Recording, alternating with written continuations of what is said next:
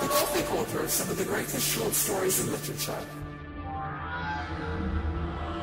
He is often cited as the father of modern mystery, and remains something of a mystery himself.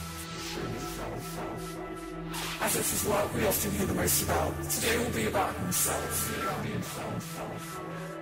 After his unsuccessful early attempts at poetry, he turned to prose and pursued history and profession owning and editing his own literary magazine.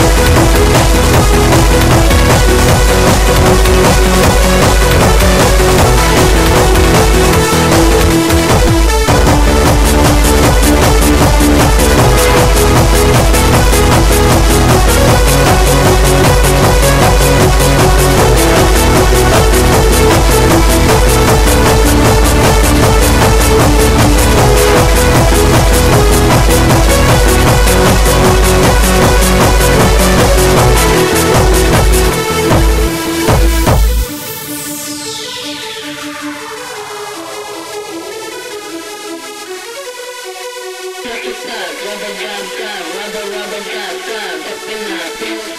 Suck it up, rubber dub dub,